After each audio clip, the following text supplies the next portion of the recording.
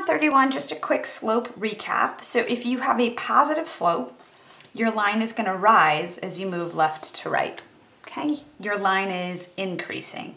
If you have a negative slope, your line will fall as you move left to right, so your line would be decreasing. And we always talk about moving from left to right because on the x-axis, that's low to high. So as I move left to right in the x-axis, you can see my y's fall there. My y's get lower and lower, or here they get higher and higher. All right.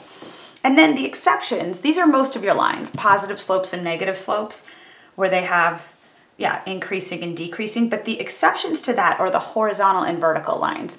So I do want to scooch this up and show you your other two options, Oops, just so we can see them.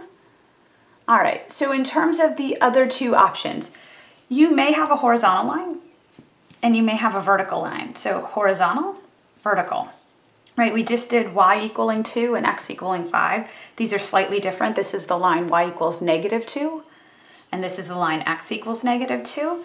But they have slopes that are 0, and they have no x-intercepts, right? So horizontal lines, slope is 0, and it never touches the x-axis.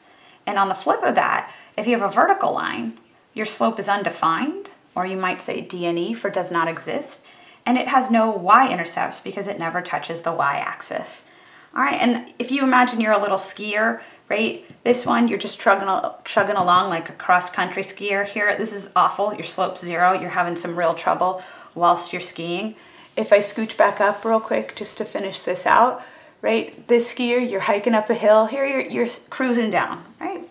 Okay, so with that, we're gonna review up parallel and perpendicular lines, and then we will get out of this section. I'll see you in a bit. Bye.